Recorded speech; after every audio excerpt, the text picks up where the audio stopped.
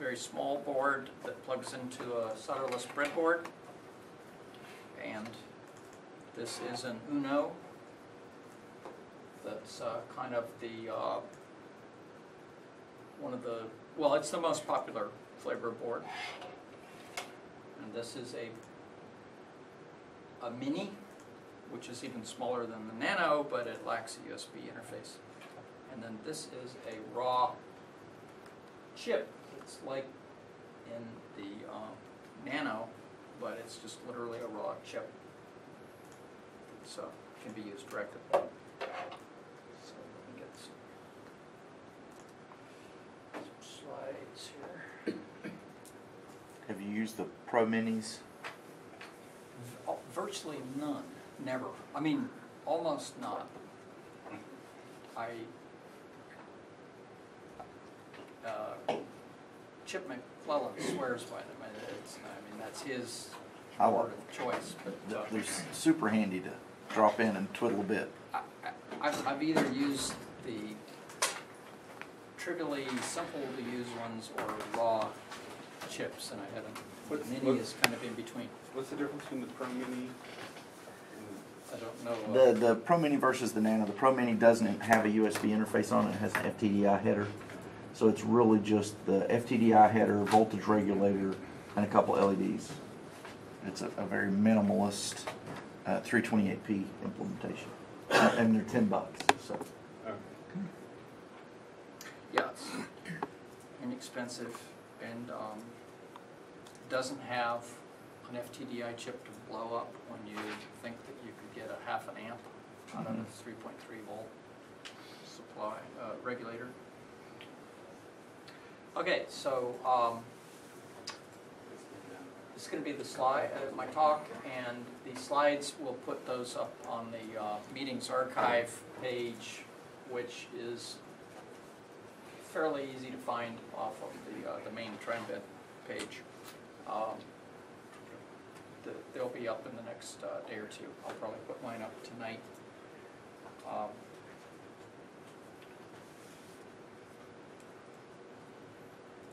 uh, And this presumes that you know what the Arduino IDE is.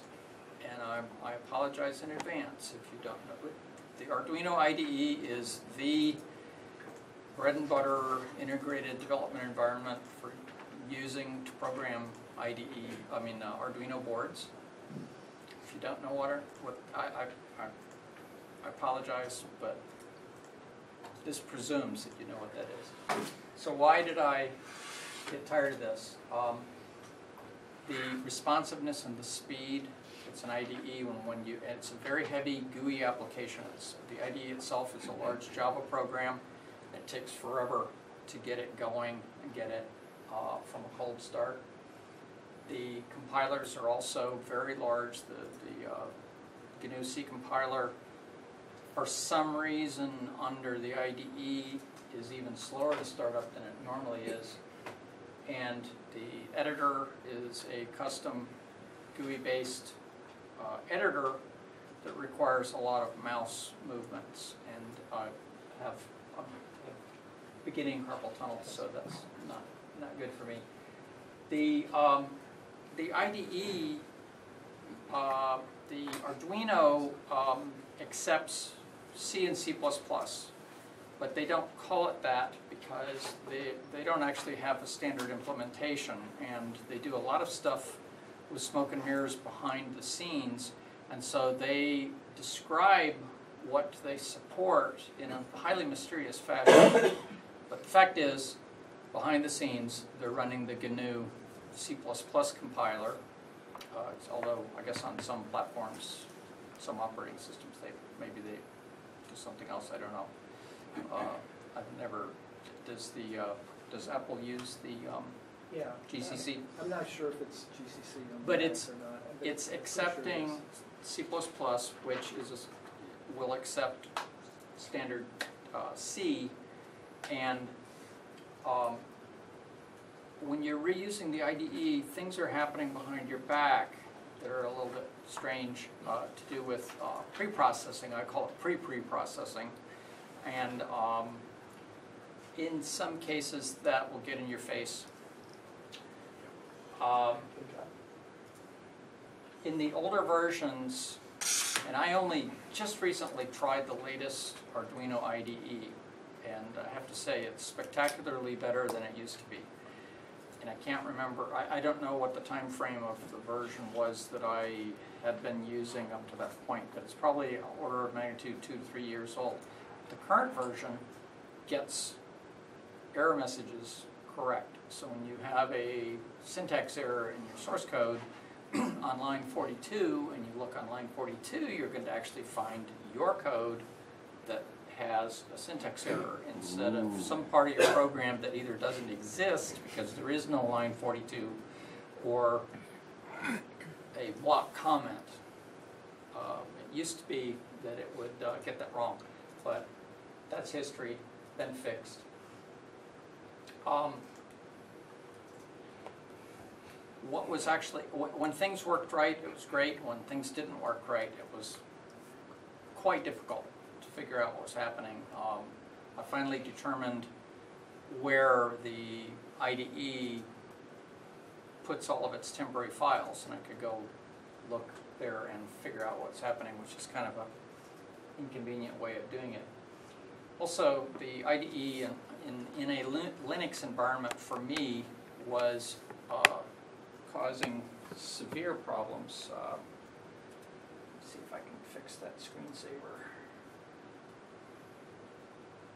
Um,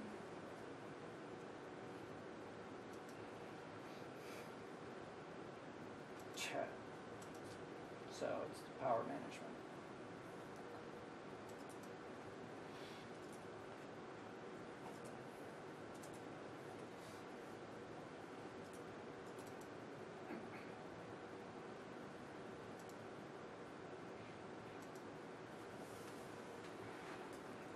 For me, um, the um, handling of USB uh, interfaces would occasionally go wrong, and when it did, I would end up with an instance of a Java process that was running the Arduino IDE that was unkillable, and I mean unkillable. I had to reboot the computer. One summer, I rebooted my Linux computer more in a month than I had in the previous ten years because of this problem. And it was so punishing that it instilled in me a kind of a, almost a, a DNA level uh, motivation to get away from this IDE because in other cases, when the IDE, uh, uh, sorry, when USB problems uh, happened, uh, you could recover without a reboot. Um, there are other things that got in my face that hopefully have been fixed. If you have more than X sketches, you can't find, you can't navigate to them because they didn't think that anybody would have those. I I So have a there is- demo of that. so- Say again? I have a demo of that, Okay? yeah. Uh, So they don't automatically switch to a s- uh, a scrollable uh, menu bar uh, or list, whatever you call it. And I, maybe the new one is better, but with most of these IDEs, it's a given that if you've been working on a project and you terminate the IDE and you come back and restart it, it remembers what the heck you were doing. In fact, if it's decent, it remembers all manner of detail and gets you back, if it's really good, it puts you back literally to the, oops, sorry, to the same state that you were in. And the Arduino IDE is on the other end of that curve, doesn't remember anything. Oh, and finally, uh, the handling of files is peculiar in the sense that files live in multiple places, and there's your sketch directory, and then there's a, an implicit library directory under your sketches directory. There are various semantics to do with subdirectories within your sketch directory, and then there's a library directory over in Never Never Land, and there's also a hardware-specific directory. And as you do development with Arduino and are forced into discovering what all of those things are and what they have to do and so on, you constantly, you're, you're sit, you're sitting in the IDE and wondering what's really happening, because it's highly, uh, masked. So, Can, can I, it, are you suggesting that if someone is for the first time going to start, no, I'm not. In, in fact, if, if, if you're a beginner, I, I strongly recommend that you begin with Arduino IDE. even if you're on Linux? If you're a, if you're an experienced software developer, uh, You'll make your own decision. you- you'll make your own decision and you, you'll probably only spend about an, an hour with Arduino IDE and then you go off and do something else. Then, then, If why would you- I even wanna do that? Why would you want to, Well, why would I, based upon this, why would Because I this thing even wanna holds your hand. frustrate myself The- with the Linux? the Arduino IDE holds your hand, it does pre, pre-processing and it does, uh, And, and the great community does it that way. And the great if community does it. Okay. And, and, and if, if, if you're in the mode of, you you don't wanna figure out how it works, you don't wanna learn the peculiarities of, uh, function, uh, prototypes, forward references, uh, you don't wanna deal with any of that stuff, and, um, uh, you, you, what you would most like to do is, is go to the instructables that caught your interest, and more or less just replicate those results in minutes. And mm-hmm. that's what you do with the IDE, typic, quite often. That you, you can just literally drop the thing in and it'll just work. And like I said, it, it, it does a lot of hand holding, okay? I- I- The motivation section that I was describing is why, I mean, I was trying to explain why it just became problematic for me. Okay. Um, now, quick explanation in case anybody isn't aware of it, but the Arduino is a name that some guys in Italy and various other countries cooked up some years ago for a single board computer based on Atmel microprocessors. Specifically, the 8-bit flavor of Atmel, which Atmel calls the AVR series.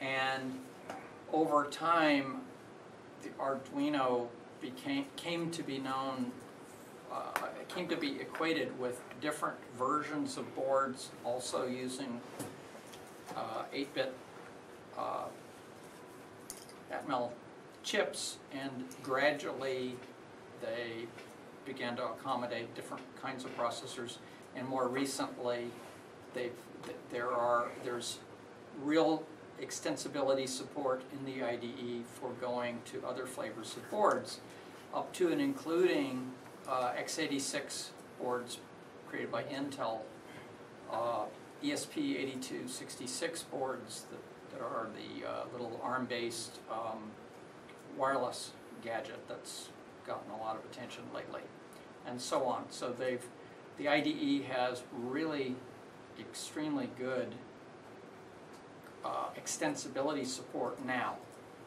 Uh, It didn't, you know, a couple of years ago, it was a different world. But the point I'm trying to get at is that for the original mainstream common Arduino boards, behind the scenes, you're using, uh, in a Linux environment, you're simply running the uh, AVR compiler and linker um, that's been around for a long time. It probably predates Arduino, but I don't know, I don't know the history that much. And there's no reason why you can't just run those directly. Which is um, one way to mimic the IDE. And so the uh, IDE is doing this and kind of preventing you from seeing the complexity, but at the same time, in other circumstance, it's preventing you from understanding why your program isn't building, or why the down, the programming process is hanging, et cetera, et cetera.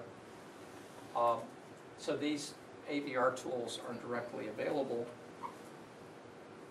And uh, I'm gonna show you some demo, I'm gonna, just got about two more slides, and then uh, I'll show you what these uh, tools actually look like. Uh, But uh, that's kind of getting into a level of detail that I, it's not really the point. Um, So it's possible to type command lines, Linux command lines, that exactly emulate what the Arduino IDE is doing behind the scenes. Um, As soon as you've done that about three times, you will put those commands into a script because like there are uh, 500 switches and options between the uh, compilation the linking and uh, the programming process and so on. In the, the IDE, one of the downsides, maybe I'll put in mine, is that it hides those, sometimes you need a linker option, you know, to do That- something arcane, and, and the IDE just won't let you, there's no way to put those in there. I might be wrong, but I think when I ran the latest greatest Arduino IDE in ver- in verbose mode, it doesn't show you what the Well, it may AVR show it to you, but if you need to, Oh, that, so they still do it, okay, so that was bogus. So, anyway, um, if you take this to, to the limit, you're, you- you're sitting there figuring out all these different options, what kind of board do I have? Um, uh, and so on. Well, this guy in Great Britain named Tim Marston made a makefile, and uh, a lot of people are using it. Um, it doesn't seem to have caught, uh, kept up with the most recent changes. They moved the board's description file. That's one of the things behind the scenes. That's kind of a key mechanism uh, driving the Arduino IDE. Um, but Tim's makefile is uh, really, really powerful. It allows you to literally just drop down into the middle of an Arduino sketch and uh, type make, point to this make file using dash F. Um, and things will just work, plus or minus forward references. Um, it doesn't do a pre-pre-pass to figure out what the function references are going to be. And so if you're used to the Arduino IDE, you know that you don't actually have to declare a function before you use it, let alone declare, you give it a signature to tell it what the formal parameters are and so on and so forth. You can just use it. And the way it does that is it does automatic magic and behind the scenes is putting function prototypes in so that the compiler knows exactly what it is that's being referenced. If you're doing it yourself, you can't do that because you're not running the Automagic tool that creates these function prototypes behind your back and so on. Um, so all this means is if, if you, if you have structured your program in a typical fashion where a leaf function is up here and a function that references that is next and so on, and your main tends to be at the bottom, then everything's cool. If not, you will rearrange it before it will build with this system. Um, at the same time, um, by using this, there's, uh, again, the recurring theme is that there are details that you really, really wish that you, you could know that um, are available to you, uh, whereas with the IDE, um, you're mystified. Now, if, uh, you'll see in the demo in a second that uh, in order to, to use Tim Marston's makefile, you have to type in a command that's about that long. Uh, and um, you don't have to do that very many times before it, you start wishing that you had that kind of automated. And in my case, um, uh, I just decided, well, I'll, I'll make a uh, shell script that invokes this make and um, that process is, is, is just starting to look like it's moving in the direction of complexity that makes me wanna switch from, uh, very plain Bourne shell to, uh, Python. So what I'm gonna do is, uh, uh, just show what the build process looks like using the makefile, um, and what a kind of a typical, uh, do a little code, try it, go back, change it, try it again, looks like.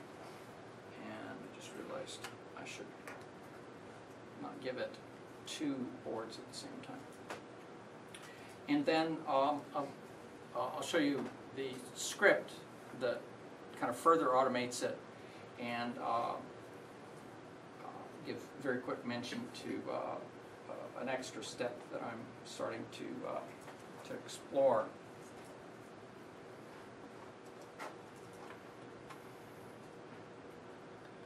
Pete, is the issue with Linux and the IDE itself, is it any connection to which distribution of Linux you're running? Are you aware?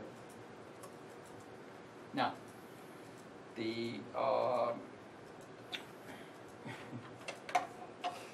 the, uh, the, um, USB failure that I had, um, I couldn't find a, um, an association with any distro. In fact, um, First, I, that, that, we could talk a lot about that particular problem because it is so terribly painful. Um, But, uh, And as a side note, I never had a problem with Linux at all using, using to me, to it's not a Linux and Arduino issue, it's just the fact that although they're on Linux that are programmers have a preconceived notion how an IDE should look like, how the Mhm. program should look like, and Arduino is far from that. Arduino is really designed for getting started and making it easier handholding, with, you- with no ways of breaking it off and dropping it down to the nitty gritty and the detail stuff. So Mhm. There's nothing really wrong with Linux and Arduino in general, I mean, I, thought- I mean, he, he mentioned the issue basically of, um, uh, processing in Hong. I never had it ha- happen, but maybe you're lucky or, I'm- or, not lucky, I'm lucky, but the main thing basically, a lot of people who do Linux are just are frustrated with the lack of choices to do more and dig in and, and apply a true IDE. So, Did you, did you agree with that, or I misstate? Sorry. So, John's board suffered a misadventure while he was getting ready for this. No. And uh, I'm in the state where my laptop i- was literally not configuring the USB connection. Nothing to do with that other problem I was talking about, sorry about that. But uh, solid state disks are so nice. Maybe you should get a Windows computer. It has Windows on the other partition, but I, I, I only tell that to people at a. Shots fired. About it. Oh, God. So now my uh, video mode is messed up. Woo. It's a lot of pixels. Whatever. Hey, hey Pete, th- um, while you're doing that, is, um, um, people, there are, there are people who run, um, get Eclipse working with the tool chain, is that, have you ever played with that? And I, I haven't, but, I haven't played it, played with it in the contents, uh, in the context of uh, Unos. Please work. There it is. Ah,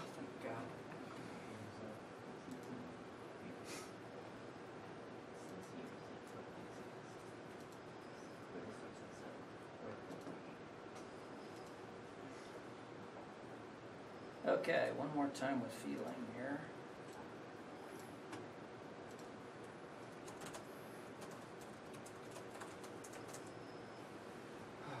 Okay, now this is gonna work.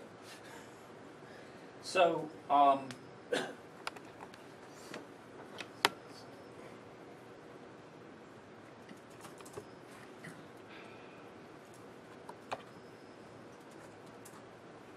so, in order to, uh, is there anybody here that has no idea what an Arduino IDE is? Hasn't seen it or? Okay, fantastic, okay, all right. So, the IDE is um, doing a series of compilation and linking things to put your program together, and then it's invoking a program to put it through serial port or into a USB device or something to program your chip. And uh, Tim Marston's makefile, which I'll, actually, I don't think there's any point in showing you the makefile, that's, that's an arcane language. Um, if you wanna call it a language. Uh, but it's simply invoking make using, um, I, th- this is pointing to Tim's makefile, so if you download this makefile, put it in a path and simply pass it, you can, it, you can start using it. Um, the only mods that I, I'm using his current, uh, dot four version, which is the next to the most recent version that he's put out. And, uh, uh, the, the, the changes that I made are inconsequential. Um, I'm pretty confident that you can download this thing and just use it immediately. Um, and you specify a make variable that points to the, the device that's involved, that, that you're using, and, uh, you have to know that an Uno, when you plug it in, it makes a pseudo terminal called TTYACM0, and, um, I know that's, that seems pretty involved, but if you're using a lot of different boards and directly programming chips and so on, you get used to these details. And then there's a, uh, a make target that says, do all the builds and go ahead and, and program the chip. So this single line is more or less equivalent to bringing up the Arduino IDE and clicking on the little uh, arrow that says, just do everything and make my sketch work. So if we um, invoke that um, command, I can manually, oh, oh, I'm sorry, I left out a detail, of course. Um, The, uh, this is an assignment telling it what kind of board you've got. Um, And course, with the IDE, you have to explicitly tell it what word you expect to be using. You have to explicitly tell it what device, so you actually have to know what these funny pseudo terminals uh, are doing. Um, And, uh, so if I run this, um, what it will do is go in and figure out what hasn't been done, the, the basic notion behind the, the, the Unix slash Linux make command is that it builds, it, it gets to a target, and that target is dependent on intermediate steps, which are dependent on intermediate steps and so on. And it, it, it basically goes through and it figures out all the dependencies and it satisfies them. And in this case, the only thing that had to be done was the invocation of the programmer to put the image into the chip. It, it can't know that that's already done. Because it has no way of, of, of looking at the state of the image in the chip and saying, oh, my image is newer than that, so I need to reprogram. Oh, it's older, so I don't need to do that. So it's always. However, if the program hasn't been compiled or linked, and you invoke this, this make command, then you will see uh, all of the uh, C++ compiler invocations. So for example, here's one of the um, stream library. And one of the little known facts with the Arduino IDE is that all of the dependent code that goes, that, that's required by your sketch gets built. So the, it, the whole nine yards is built every time, no matter what. Um, there, it's a different philosophy than, uh, in other development environments. Well, anyway, this guide, it does the same thing, and if, for example, uh, you just modified your program and ran this make again, it would only recompile the one thing. It would relink it, which is combining all the object files into the executable, and then it would feed it down into uh, uh, Flash. Uh, I think if you do a make clean, it'll clean out all the object files, and then when you do a make again, it'll build everything. Yeah, So so, so here, here's when I did that. See, Oh, oh, oh, That's that a was, that is, yeah. okay. Uh, Linux programmers don't waste characters. It, it, it, G not and- only, and it, G and C. it, it blows away, um, everything that could So it's possibly. not in the make file, you've created a separate file. I, I, I made a cheat script for that, Yeah. but it is in the make file. Oh, no, no, it isn't. You need a minus F. Yeah, Yeah, so if I had put in a minus F, of course, uh, yeah, there's a clean target. But the clean target isn't as smart as my C script, bec- my clean script, because otherwise I, well, I might be using that, but it's too many characters. One character is, and, I mean, so if, if I go like this, that will, oops, no, it won't. Oh, it doesn't do dots What did you wanna history. do? What if I, I'm- my, my, my arms are not lined up. So with command line history, with Linux, you can really, really get economical with your keystrokes. And if you have spent forty-five years typing for a living, and you're, you know, your hands are getting tired, especially if you spent the first three years with an ASR thirty-three. uh, Minimizing the keystrokes and minimizing mouse movements is good. Little trivia, did you know that the uh, developer of AVR Dude is local to this area? I didn't, Uh, Brian Dean, actually, he works at SAS. that's fantastic. Um, uh, a number of things were created around here. Um, Usenet was created actually, uh, AVR Dude actually predate basically the, um, uh, all of the um, uh, Arduino environment. I was using AVR Dude back then as the command line. basically, And BDMICRO, the company had, he was selling AVR boards. I've also was AVR boards, again, predating all. Uh, uh right, I, I, was speculating that, the, eh, so that tool, and we know the GNU, uh, the GNU's GNU, GNU, GNU suite goes back to the early 80s, early 1980s talks, is, is there, is there any chance getting that guy to come here and give a talk one day, you think? or- Possibly, he washed his hands of it earlier, earlier and did it a while back, actually. He Actually, he did it for a while, maintained it for a while, and if I got tired of, of keeping it maintained, so I, I haven't chatted with him in a while, but I, I, I- I, can certainly contact him and see. But he's actually, he's no longer maintaining it, it's still being maintained, but not by him, I'm sure who actually maintains Yeah. it now. And th- this kind of gets to a topic um, that, uh, if somebody could remind me to pop the stack and go back to that topic as soon as I'm done, uh, I'd like to- to do that. Not, not being, uh, recorded, but I'd like to touch on that No same subject. Uh. So if we go back and, and invoke this, as we can see, uh, especially if you don't have command line uh, history references and you actually have to type all of this stuff in, look at all the characters that you have to type. Well, I got tired of that. So my standard uh, mechanism is called G. It's just a, a script.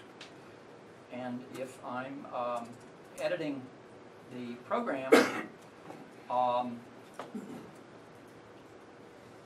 and actually, uh, well, let's just pretend that this thing blinks and, um, I, if I make this change, it, it's, it's slowing the progression of blinks down.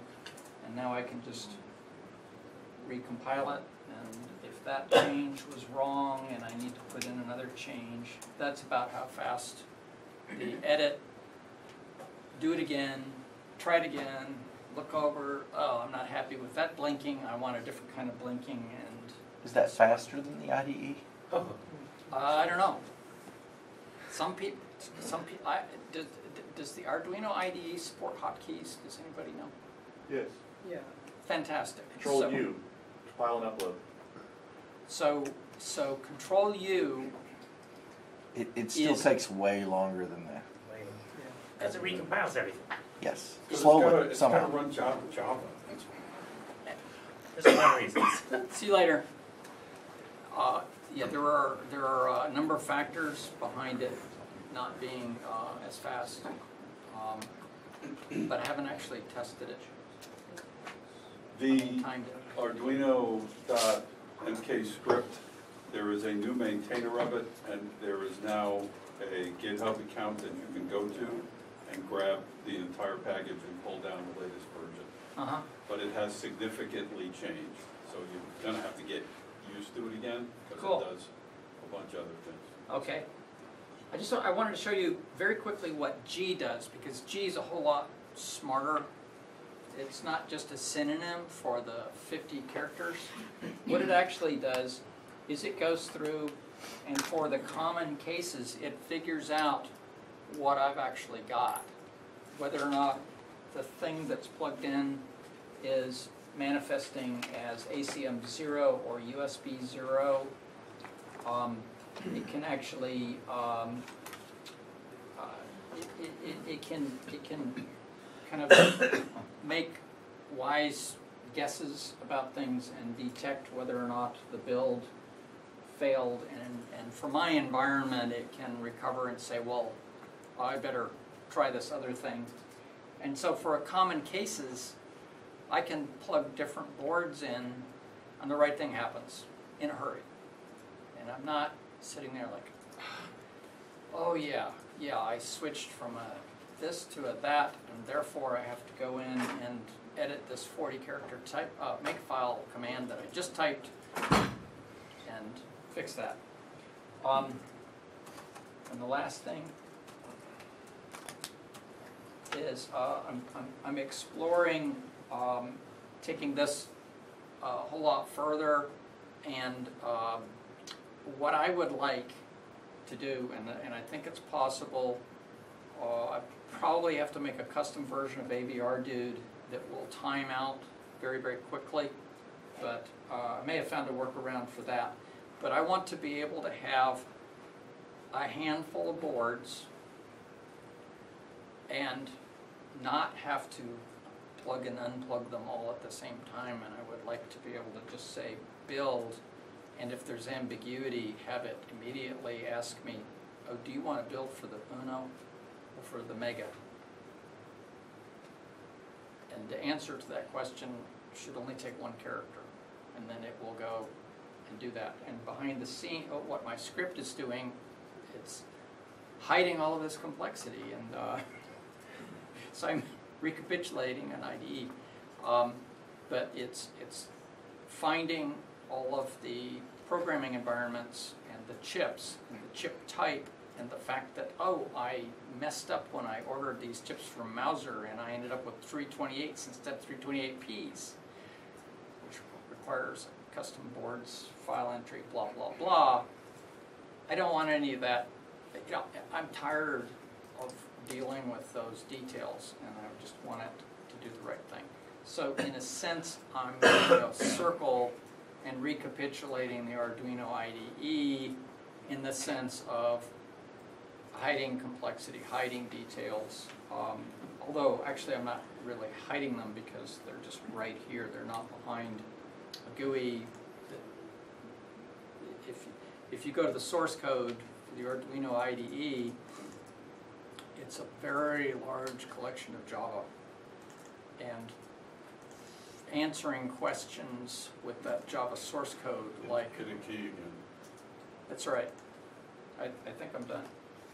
Uh, answering questions, uh, you know, like, where does that file actually live? What was, wh- why is it invoking this option in this circumstance and so on? This, the Java source code is not the place to answer that question. The, the support forums are the place. You could probably spend two hours on the support forum searching and asking questions and so on before you would find it. Plus, I mean, you'd have to be able to read Java code. So that's, that's it. Um, and as, um, Rod was saying, uh, or somebody was saying, there are other tools available in Linux environments, um, that are quite powerful. Um, there are Eclipse-based environments. There's a debugger called GDB. I don't know whether it's usable with uh, AVR 8-bit chips or not. But when you switch to, when you move up to the 32-bit chips like ARMS and so on, I um, think it, the, I think maybe it is. the choices are very rich. Yeah. So that's it. Any questions?